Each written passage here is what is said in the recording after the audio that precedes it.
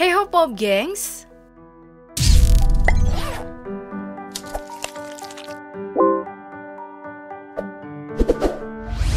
Dari sebuah berita di tahun 2019 kemarin oleh CBS News diketahui sebuah fakta mencengangkan. Tentang 86% anak muda di Amerika itu punya cita-cita pengen jadi seorang sosial media influencer. Entah itu jadi selebgram, tiktoker, youtuber, dan lain-lain. Mimpi ini tuh menggeser mimpi utama anak-anak tempo dulu nih yang mau jadi dokter, guru, sampai astronot. Ya entah bagaimana kalau di Indonesia, tapi dengan menjamurnya exposure bisa kaya kalau jadi seleb sosial media. Kayaknya anak muda di sini juga punya mimpi untuk jadi influencer. Nah, namun nyatanya jadi influencer jelas tidak mudah karena bisa malah berujung petaka seperti yang dialami para influencer-influencer berikut ini. Ajudan pribadi. Ngomongin influencer yang satu ini udah kayak kisah Cinderella story yang berakhir jadi film horor. Bagaimana enggak? Pria dengan nama asli Muhammad Akbar Pera Baharudin tersebut awalnya hanyalah orang biasa yang serba terbatas. Dirinya hanya sampai kelas 2 SMP yang bekerja siang malam untuk memenuhi kebutuhan hidup. Mulai dari jadi pemulung, kuli bangunan, penjual kacang hingga tukang bersih-bersih. Kehidupannya kemudian berubah saat dirinya diboyong oleh Andi Rukman Nurdin Karumpa, seorang pengusaha kaya raya di sektor konstruksi. Bersama orang yang disapa Puang Bos inilah ajudan pribadi merasakan kemewahan. Mulai dari naik jet pribadi hingga liburan ke Eropa, kedekatan ajudan pribadi dan puang bos ini tentu bukan tanpa alasan. Karena ajudan pribadi dianggap sosok yang menghibur dengan cara bicaranya yang unik. Singa yang paling banyak singa-singanya dan saya mengucapkan selamat tahun baru. Cara bicaranya ini jugalah yang membuat dirinya bertemu dengan beragam orang seperti jenderal polisi, menteri hingga artis tanah air. Bahkan ya, pernah ikut konferensi pers penangkapan narkoba.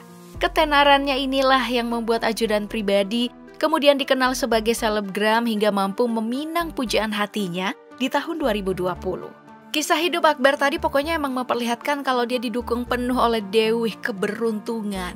Eh, Siapa sangka pada 2023 ini dirinya malah ketangkep sama polisi karena dugaan penipuan dengan nilai yang gak main-main, yaitu 1,3 miliar rupiah. Penangkapan ini ditengarai laporan kawan dari Akbar sendiri yang berinisial AL karena kasus penjualan mobil fiktif. Nah, setelah diringkus oleh polisi di Makassar, Akbar pun diboyong nih ke Jakarta untuk pemeriksaan lebih lanjut. Dalam konferensi persnya, polisi memperlihatkan barang bukti berupa nota pembelian dan foto mobil yang hendak dijual. Dalam kesempatan ini, Akbar juga mengaku kalau melakukan penipuan untuk kebutuhan hidupnya sehari-hari. Lalu, bagaimana tanggapan dari keluarga Andi Rukman? Lewat anaknya, Indra Rukman, keluarga dari Puang Bos mengaku kaget dan juga ikut mengeluh kalau Akbar emang jadi sosok yang problematik nih semenjak berhenti bekerja setelah menikah. Indra dan keluarga sering mendapat aduan soal sikap dari Akbar yang sering mengatasnamakan keluarga Rukman untuk kelancaran bisnis. Waduh, Padahal ya Akbar dan keluarga Rukman tidak pernah lagi saling berkabar sejak si ajudan pribadi berhenti bekerja. Wah wah wah, apakah ini definisi sesungguhnya kalau uang bisa mengubah orang? Kalau tadi ada yang nipu, sekarang kita pindah nih ke selebgram yang kena rujak netizen soal liburan ke Jepang yaitu Ibnu Wardani. Pria yang juga viral di TikTok ini baru saja kena rujak netizen karena dianggap alay soal tripnya ke Jepang yang bakal menghabiskan lebih dari setengah miliar. Salah satu yang paling heboh jelas soal naik taksi di Jepang yang buka pintunya harus bayar 1,4 juta rupiah. Kalau kita buka pintu taksi aja di Jepang itu harus udah bayar 1,4 juta rupiah. Nah, klaim ini lumayan unik nih karena video tersebut dibuat masnya sebelum berangkat ke Jepang. Kalau reviewer kan biasanya pergi dulu baru ngomong. nah ini kebalik. Dari pernyataan ini kemudian berdatangan tuh reaksi orang-orang seantero Indonesia Raya. Salah satunya dari konten kreator Indonesia, Neo Japan yang memiliki istri asli di sana. Untuk? Hmm. Kemudian, ada juga orang-orang yang sering ke Jepang ikutan speak up. Kalau biaya yang dibutuhkan 14 hari di sana itu sekitar juta doang atau sepersepuluh dari yang dibilang sama mas seleb ini nih. Makin pusing lah hidup si mas-mas Tahadi kan? Setelah dirujak, Ibnu kemudian melakukan klarifikasi lewat Twitter kalau dia kurang info lah. Apa masalah selesai?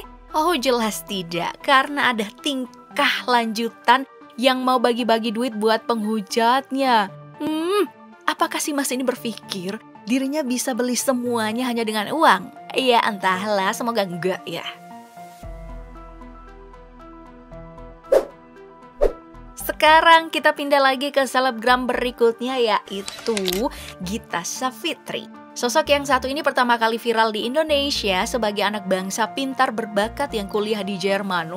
Video pertama yang membuatnya dikenal adalah voucher lagu Tanah Air dari Angklung Hamburg Orchestra. Nah sekarang sosok Gita Savitri dikenal sebagai influencer yang terkenal di Instagram dan juga YouTube.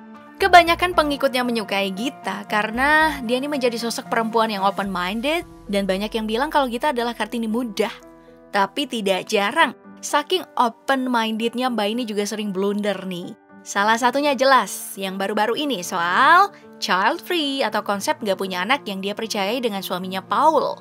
Awalnya, konsep child free ini aman-aman doang karena dianggap sebagai preferensi pribadi. Tapi di satu waktu, dia malah komen kalau child free itu anti-aging alami. Nah, terbakarlah banyak orang Indonesia, apalagi ibu-ibu, dan Gita dirujaklah dari segala sisi. Mulai dari kehidupannya, agamanya, suaminya, pokoknya jempol warrior langsung online.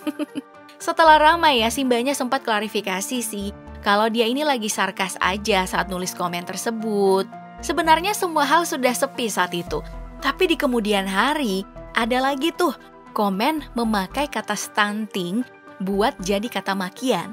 Di sini Gita dianggap kelewatan nih karena menyakiti hati banyak ibu-ibu yang berjuang untuk menangani stunting anak. Ya sebenarnya kalau emang si mbak sarkas, harusnya nggak perlu sih sambat sama netizen ya. Apalagi konsep child free dan anti-aging itu emang gak ada hubungannya. Hmm, Sophia Lajuba nih contohnya punya dua anak tapi tetap awet muda karena punya duit buat perawatan. Jadi ingat ya gengs, awet muda itu karena punya duit bukan karena nggak punya anak ya kan plus rajin olahraga makan sehat juga Kemudian, ada lagi nih influencer Timothy Ronald yang sering kasih edukasi soal bisnis, investasi, dan segala macam hal soal konsep kesuksesan. Dari channel YouTube-nya, sebenarnya pembahasan orang ini hebat-hebat, tapi sayang jualannya soal branding tidak punya uang, lebih ber. Waktu gue gak punya uang, gue suka aja datang kalau lebih hotel. Atau kalian cari lauk yang mahal, pesan kopi aja 80 Kata tidak punya uang tapi ngopi 80 ribu. Jelaslah menggelitik banyak orang. Lagi pula siapa sih yang beli kopi 80 ribu pas gak ada duit? Pinter enggak? Asam lambung iya dong. Soal kopi 80 ribu ini kayaknya tiktoker capek di ban yang paling oke okay dah. Setelah ramai dibicarakan, Timothy pernah membahas kalau yang dia lakukan emang marketing. Tapi netizen jelas gak percaya dong kalau uploadan ini dianggap respon kalau udah basah banget. Belum lagi soal statement tadi nih, netizen kita yang jago menyelam mendapatkan video dengan konsep yang sama persis. Listen, your Starbucks is gonna cost $4 and it's not... Bahkan, akun saham fest di Twitter bilang kalau Timothy ini tukang pom-pom saham tertentu yang melanggar etika influencer saham. Hmm, jadi gimana nih? Ya, pokoknya kesimpulannya tuh gini. Emang become an influencer itu nggak gampang, apalagi kalau mau menggocek netizen pasti udah mustahil. Baiklah, segitu dulu untuk hari ini. Sampai jumpa di video berikutnya. Bye!